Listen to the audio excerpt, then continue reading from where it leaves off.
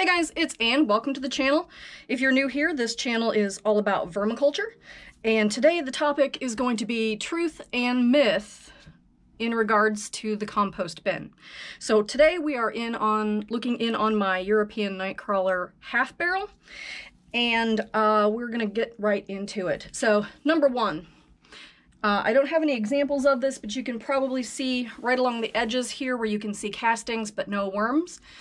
The number one thing is that worms call, crawl the walls or try and escape out of the bin because there's something wrong with the bin. And that is always, not always true. Of course, it could be true that you've overfed or that it's too hot. But most of the time when you're looking at things like blue worms or African night crawlers, one of the reasons that they crawl the walls is because it is in their nature to be uh, very sensitive to atmospheric pressure, to vibrations within the soil, and they have kind of a flee response, which causes them to escape and sometimes, you know, get out of the worm bin and die. So it's not always about something that you have done to your bin. Sometimes it is just in the nature of the worm. So I'm just going to continue working on the bin here. Number two is that you absolutely need to have grit added every single time that you work on your worm bin or feed them. And this is also a myth. Worms will mm. actually reuse the grit, if that is a good way to say it, but basically, when they go through, they're eating as they go along. And as you can see the white specks here, this is grit from previous times. And they will continue to reconsume the material in the bin many, many times. So they will also be reusing the grit. As humans, we kind of find that gross, but it's the life of a worm. What are you going to do? Okay, so let me get going here. We're doing a little bit of fluffing. I think one of the things that I've decided is that uh, I'm not very good at this half barrel thing and that I am going to move some of the worms into kind of a bunk bed situation. I have got an, the other half barrel and I put it underneath of this one. And so when we get to the part with all the worms, I am going to be grabbing some out and moving them to the one below because they are starting to lose their size on me and I do not want that. So I am going to pull out some worms a little bit later. Okay, so the third thing that is myth or truth is that spicy foods will physically hurt your worms. I mean, it probably won't emotionally hurt them either, but you know what I mean. Just like if we eat super spicy things, how we'll get a stomach ache and our mouth will burn. Uh, worms and birds and non-mammals don't have the same pain receptors that we do. And so therefore, the way that capsaicin works is it binds with our pain receptors, giving us the idea that uh, well, we are in pain. And uh, I will link to the book below that uh, I'm getting the chili information from. But basically, they can't feel it. It doesn't bother them at all. It is just food. In fact, if you're from um, a country that grows peppers in the wild, you know, like Mexico, um, birds you know, peppers are like their favorite food. In fact, some of the most famous peppers are called bird peppers because they always find the birds sitting on the pepper plants, just sitting there munching on a chili. So that is, in fact, a myth. Uh, spicy foods do not bother the worms.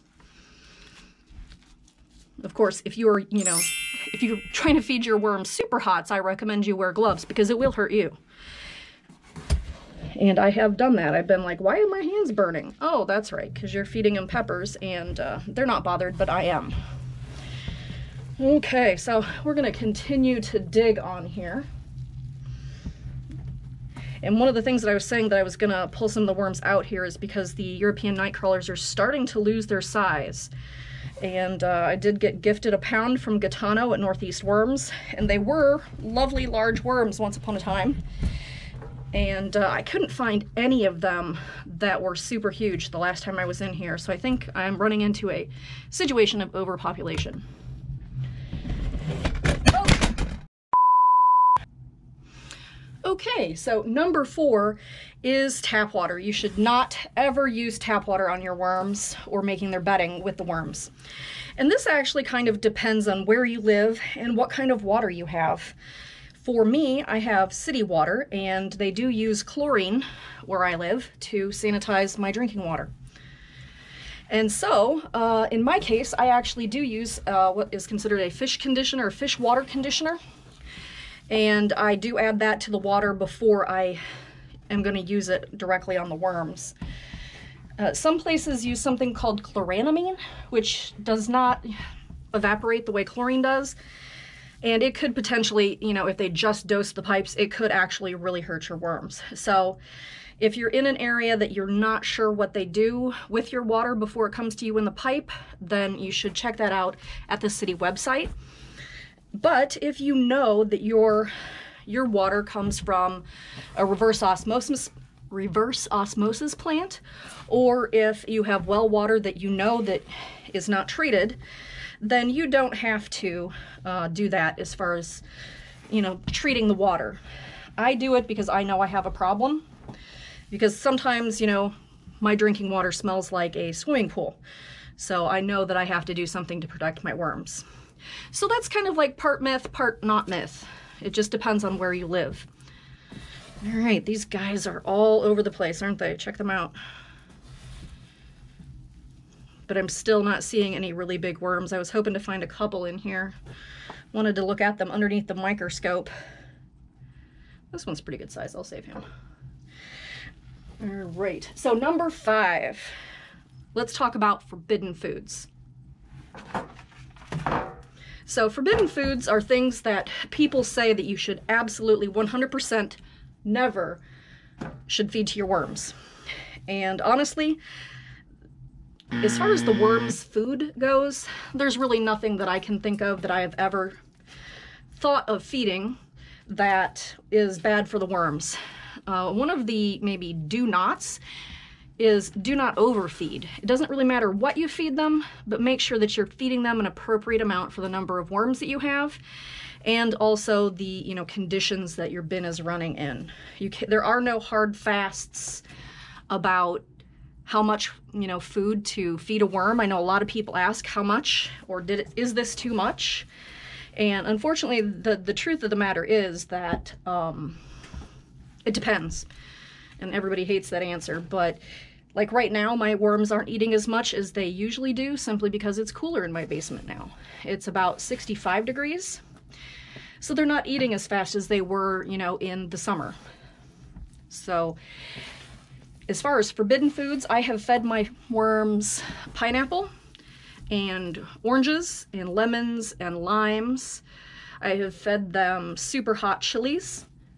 I have fed them ginger and between the worms and their buddies in the worm bin, they have eaten it all and everybody has been fine. So that is, it is sort of a myth, but there are certain things, like I did do an experiment where I was feeding meat to the worms, and I will tell you that although the worms did get around to eating it, it did attract pests in the way of uh, flies. So although the worms can eat it, uh, it may not be your best idea for your living space just because of the uh, filth flies that get attracted to it. All right, we're almost to the feeding zone here. See, got little tiny peppers in here, and the worms love them. Okay. I know we fed pumpkin last time, so I'm hoping we will get a bit of a worm ball. All right, we're getting there. Okay, feel something squishy squishy paper.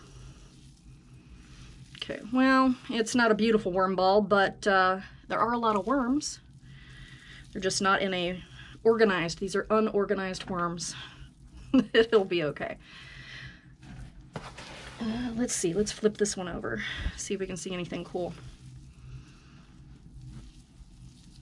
Yeah, it's okay. Can't get a, you know, cool worm ball every single time, right? Okay, well, let's keep making sure we're getting the air to this. Okay, so another thing that has come up recently is the concept of organic food. Um, and if you've been around in the channel a lot of time, you know, if you have been with the channel for a while, you know I do work in the food industry, and so I do have some knowledge of the regulatory industry as far as what it takes to be considered organic. And feeding your worms only organic food, is it necessary? Is it bad for the worms to feed them not organic food? Nope. Again, sim similar to uh, forbidden foods, the worms, man, look at all those babies. All over the place. You know, I think the worm bin's overpopulated, but yet they are still breeding. Look at that. All right, guys. No hitchhikers. Get back in the bin. All right, so similar to forbidden food, organic food and or should you only feed organic food is is not necessary. Now for me, some people are almost religious about organic food and if you are, that's totally fine. You do you. But in my opinion, the worms are going to eat it whether it was, you know, brought in from a farm that is completely organic or if it was you know, a traditionally farmed apple or broccoli or what have you. All right. So although the worms will eat it, whether it is organic or not, the, the choice is all yours. It is not going to hurt your worms, you know, if they eat an apple that was grown on a farm that uses traditional um, chemical pesticides and herbicides. There are some persistent chemicals that do manage to go through and get into us, and that is a debate for someplace else, not here. We're all about the worms. We're not about the drama. We're not about the politics. We're just about what can you feed the worms, and the worms do not care. Um, what you care about is something entirely different. Okay, I am going to grab some of these up and start putting them underneath, and I'll show you that at the end.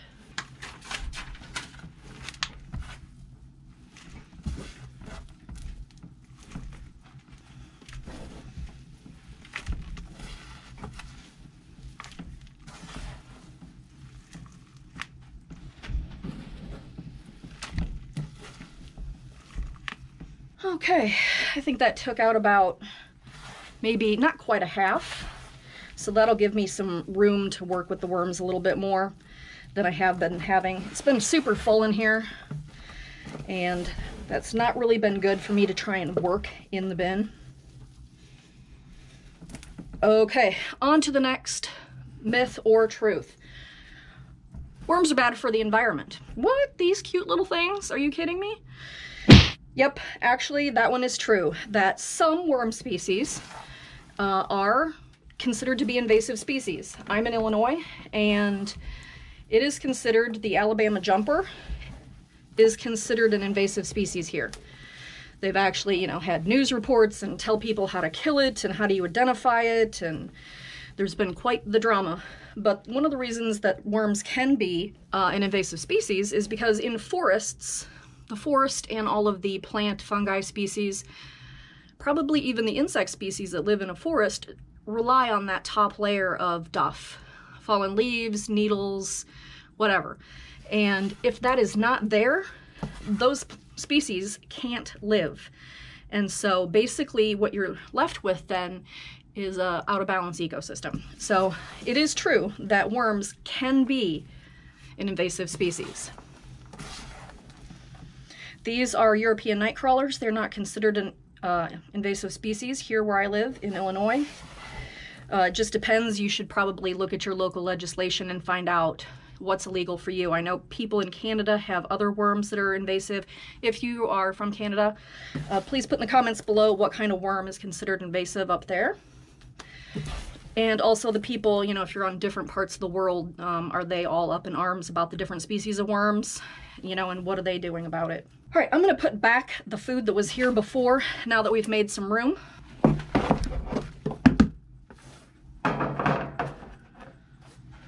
Man, I saved out that big worm. There you go, there he is.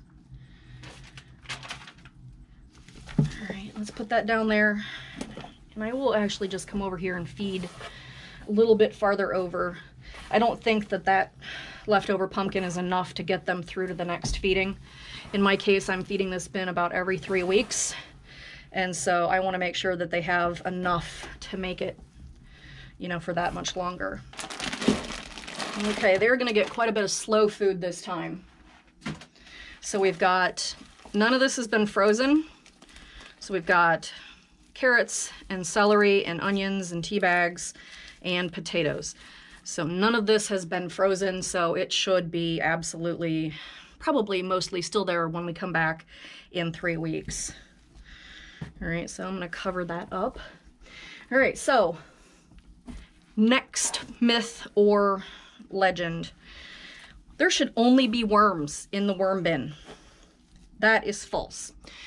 Uh, in a functioning ecosystem of a worm bin, you're going to need the mites and the springtails and arthropods and stuff like that. If your goal is the same as mine, and that is one of the things, is that if your goal is not the same as mine, which is to keep things out of the landfill and recycle and make uh, soil amendments such as worm castings, that's my goal, and so therefore I need the ecosystem to do everything that it does in here. However, if you are a professional worm farmer and your only goal is to grow these little guys up as big as possible so you can sell them, you're working on a whole different system than I am. And I suggest that you go look at the Garden and Worm Lady. She does it professionally. If you want to know how to do that, go see her channel. She is amazing and organized and just love watching her channel, so go check her out. But you know, she feeds worm chow so that her worms will get bigger so that she can sell them. Um, but she has a whole different, you know, her business is different. I don't have a business. I don't sell worms. I don't sell castings. I do this only for my own yard and for my own family. Um, if you like the idea of being a bigger part of the world and rescuing food from grocery stores throwing away, you could go look at AJ's Green Topics. He has been rescuing uh, rotten groceries and feeding it to his worms. So go check out AJ's Green Topics. In fact, I actually have his shirt on today. I don't know if you can see it or not. It says got worms. And I absolutely do have worms, as do they. All right, let's go look and see what the bottom bin is doing. Okay, here's my bottom bin. It's a little bit dark, but all you're gonna see is basically me spreading out worms here. So the, the number nine truth or myth that people do seem to be attached to is that worms, their compost Alright, so for the rest of the, the video, we're going to uh, do a little bit of harvesting of blue over here and finish up our top 10 myths or truths. If you saw the video where I have been adding amendments like kelp meal and azomite to my bedding when I feed it to my worms, I am trying to mitigate this, but for the most part, you're never going to be able to just feed worm castings and have healthy plants. Unfortunately, you know, some heavy feeders like tomatoes or potatoes, etc., they're not going to be good with just what is in worm castings. Uh, so you will have to add organic something or even uh, inorganic fertilizers to boost the nitrogen, etc.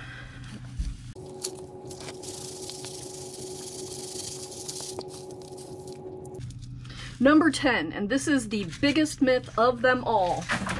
Worms eat their weight in new food every single day.